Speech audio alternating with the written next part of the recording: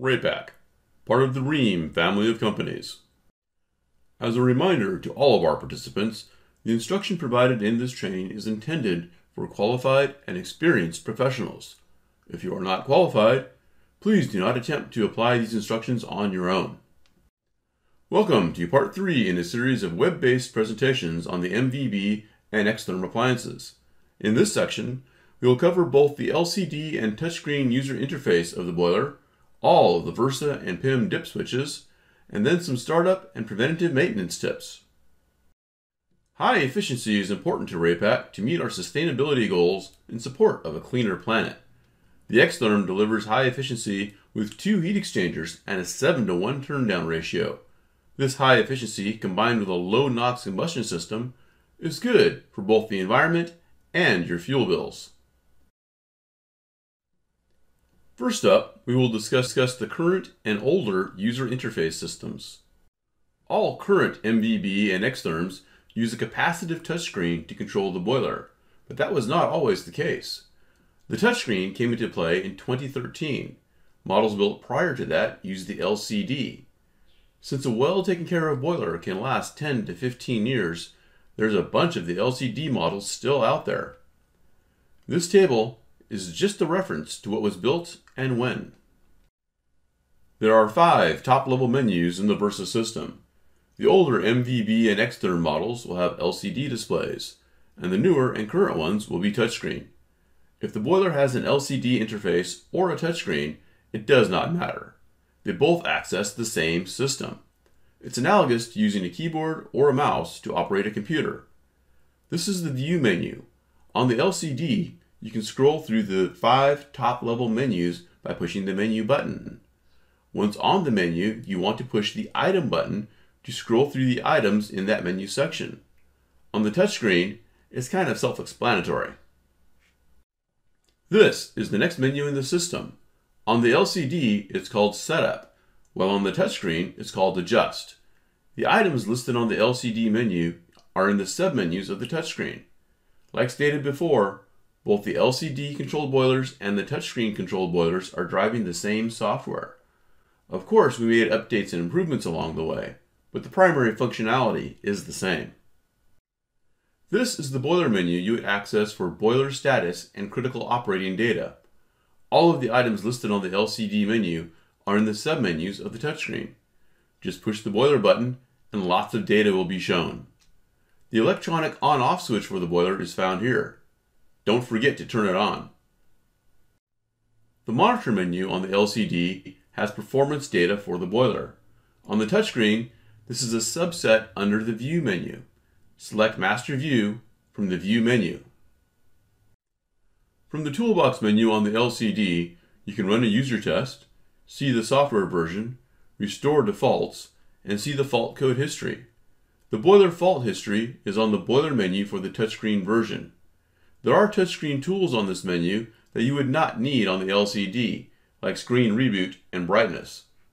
On early edition touchscreens, sometimes the changes that were made would not stick. Doing a screen reboot can correct that. It's like rebooting your computer. Next up, we will define all of the Versa dip switches.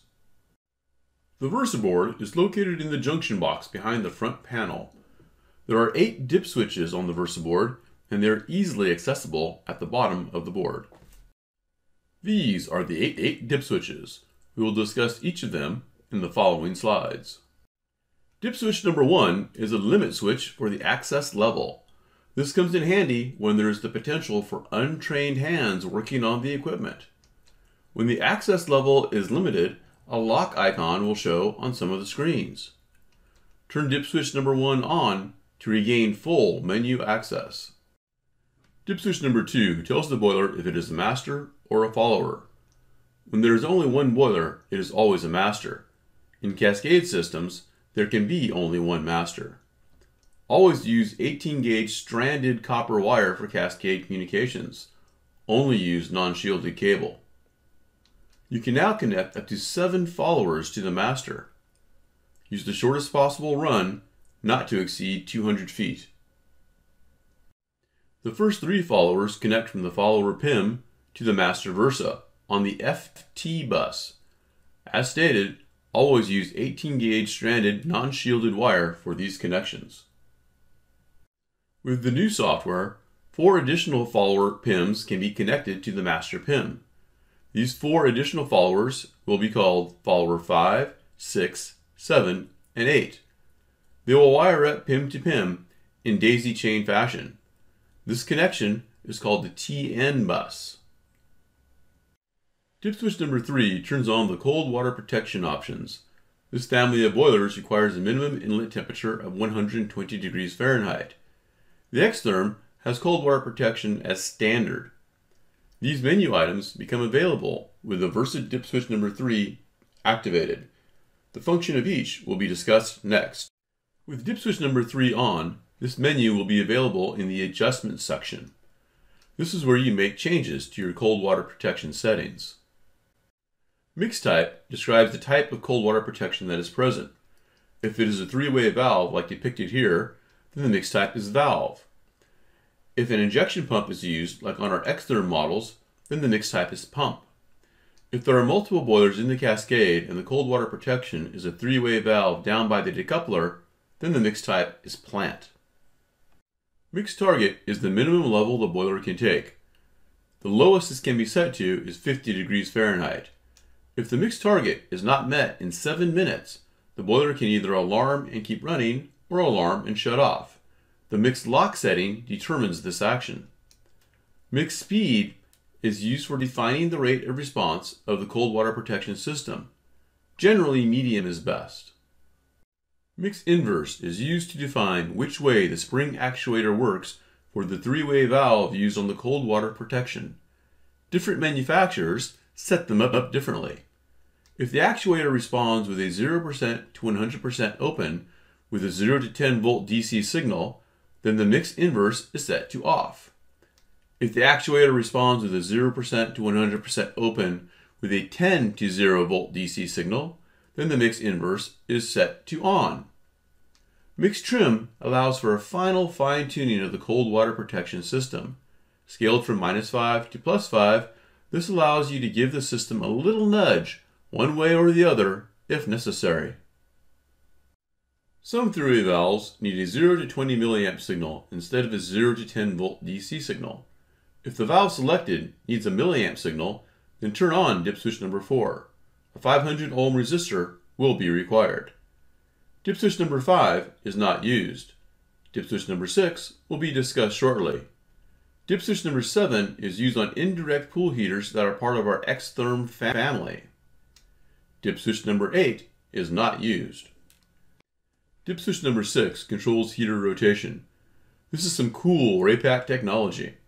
When in Cascade, turn on dip switch number 6 on the master boiler. After 48 hours of burner runtime and the current call for heat satisfied, the next boiler in the cascade with the least amount of burner hours will fire on the next call for heat. Now say you have a boiler that's running in perfect harmony with the building, and the boiler is just modulating up and down as needed, but never shutting off. We have a solution for that too. At 60 hours of continuous burner runtime, the boiler will go to target plus differential, putting an extra shot of heat into the system and then shut off. At that point, the next boiler in the cascade will fire up as above. Next up, we will discuss the PIM dip switches. The PIM dip switches are in that little recessed box on the platform ignition module, commonly called the PIM. This is easily accessible in the junction box behind the front panel. These are the eight dip switches for the PIM. We will discuss each of them in the next few slides. A handy thing to remember is in most cases, without a building management system, the typical setting for the PIM dip switches are number 3, 4, and 7 on, all others off. PIM dip switch number 1 gives the operator the option of defining the temperature differential or to allow the Versa program to determine the best differential for the system. Auto differential is always recommended here. The Versa program will optimize based upon the system inputs to the best differential temperature to avoid short cycling. When it is necessary to run at a very high temperature that threatens tripping the upper limit, You can use a manual differential setting ranging from 2 to 42 degrees Fahrenheit, split evenly above and below the target. Dip switch number 2 only comes into play when PIM dip switch number 5 is on. If number 5 is off, PIM dip switch number 2 does nothing. If PIM dip switch number 2 and number 5 are on, then the boiler will be looking for a volt DC signal from an external controller like an energy management system for direct drive function. With dip switch number 2 off and number 5 on, the boiler will run to target temperature. This only applies to single boiler systems. Firing rate control from an external system will not work in Cascade. A Temp Tracker Plus is an example of an outside driver that could be used here with dip switch number 2 on. Dip switch number 3 controls the post-purge option. Post-purge allows the pumps and the cold water protection systems to run for a bit after the burner shuts off. This extra 20 seconds of pump runtime gets the residual heat out of the combustion area so you do not trip on a high limit accidentally. The default time is just 20 seconds, but it can be adjusted from 20 seconds to 20 minutes. PIM dip switch number 4 is an example of some helpful Raypak engineering. With PIM dip switch number 4 on, the boiler will cycle the pumps and cold water protection if present after a period of 72 hours of inactivity. So say you are in shoulder weather like spring or fall, and you get a week of warm weather where the boiler does not need to fire. You don't want the pump to seize up from inactivity, so this system helps to prevent that. After 72 hours, the pumps will run for just 10 seconds, just to keep things working properly. During these 10 seconds, the display will show exercise. PIM dip switch number 5 needs to be on to engage dip switches number 2 and number 6, as they all support energy management systems.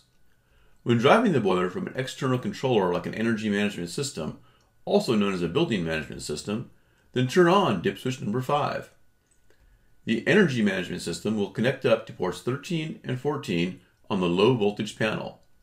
If not driving from an energy management system, leave dip switch number 5 off and the Versa system will drive the boiler. As just stated, dip switch number 6 only comes into play when dip switch number 5 is on. Here is where you select what kind of signal type is needed. On indicates a 4 to 20 milliamp signal, while off indicates a 0 to 10 volt DC signal. If not using an energy management system, leave dip switch number 6 on the PIM off. Dip switch number 7 is another example of some cool Raypak engineering. Turning on number 7 enables freeze protection for the boiler. It works like this. If the temperature drops below 45 degrees at either the inlet or the outlet sensor, then the boiler pump will run for a bit drawing some heat from other areas in the system until the temperature is higher than 50 degrees at both sensors. If the temperature continues to drop and gets below 38 degrees at either sensor, then the boiler will fire for a few minutes until both sensors are over 42 degrees Fahrenheit. This process will override a soft lockout, but not a hard lockout, as that would be dangerous. PIM dip switch number 8 controls the commission test. This is a handy tool for demonstrating that the high limit is working properly. With dip switch number 8 on, the boiler will run to 20 degrees Fahrenheit higher than the high limit to force the high limit shutdown. Once complete, power off the boiler, turn off dip switch number 8, and turn the boiler on to clear the fault. Next up, we will go over how to start up an MVB or Xtherm appliance. Generally speaking, on any boiler startup, it's good to know what you are working on. Read both the boiler installation and operations manual and also the Versa manual. Make sure you understand what you have read. Use the wages approach. Are the water lines connected? Is the venting correct? Has the gas line been purged? Are the electrical connections correct according to the manual? Is there adequate room to work on the boiler? Make sure that the gas line is connected as per both the manual and the National Fuel Gas Code. That means there must be a drip leg or sediment trap present close to the boiler. Make sure there is a quality pressure regulator in place. Pressurize the line and check for leaks before you start it up. Verify the supply gas pressure at the bleedle port upstream from the gas valve. Make sure the pressure is within 4 to 10.5 inches of water column for natural gas appliances and 4 to 13 inches for propane. Once the boiler is fired up and at 100% fire rate, check the manifold gas pressure at the downstream bleedle port. Don't try to memorize the target values, just look them up in the manual. The manifold pressure will always be in negative units of water column because the gas is pulled from the valve by the blower. Here are the values for the XTherm models. The bleedle port is in the same location, just downstream from the gas valve. It's a good idea to tighten the electrical lugs before the unit is energized. Sometimes things loosen up on a boiler as it makes its way across the country. Once energized, verify the voltage with a multi multimeter. If more than 1 volt AC is present on the common to ground, there will be electrical problems. The same rules apply for the XTherms as we just saw for the MVBs. Make sure the breaker is the right size, as per the manual. Once all of the utilities are connected, it's time to start it up. The startup sequence is shown here. The first startup on a new heater might take a few tries to work all of the air out of the gas line. With the boiler fired up at 100%, it's time to check the air pressure. There's a T-port on the silicone hose that runs from the gas valve to the swirler. Be careful not to lose that black cap. It is very important to dial in the air and gas pressure settings before you go to use the combustion analyzer. If the air and gas pressure settings are way off, you may be producing too much CO2, and you can damage your combustion analyzer tool with a, a big hit from too much carbon dioxide. The maintenance section is next.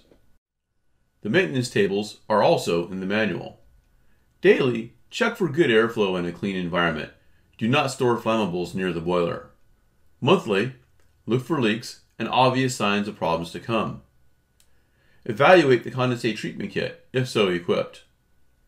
Annually, check the venting system for soot, leaks, and corrosion. Storing pool chemicals near a boiler will damage the internals of the boiler. Never store chemicals or flammables in the boiler room.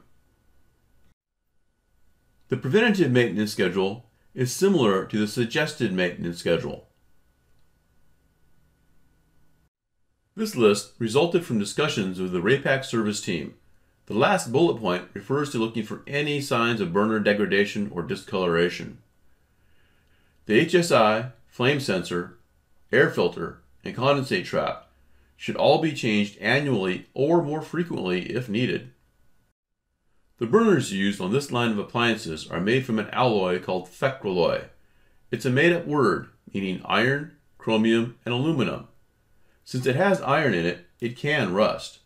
Therefore, never use water when cleaning the burners. First, use dry compressed air, blowing from the outside in. Next, use a hydrocarbon solvent like brake clean. Make sure the burner is dry before reinstalling it, and be extra careful when working with flammable solvents. The troubleshooting section is next. The MVB and XTherm boilers have touchscreens on them since 2013, so troubleshooting is pretty straightforward. The older models prior to 2013 used an LCD interface, so you had to read the display to tell you what was going on. This table has the most common error codes and is available in the manual. I hope you have enjoyed this presentation this is the third and final presentation in a series on MVB and XTherm boilers. Raypak, engineered to perform, built to last.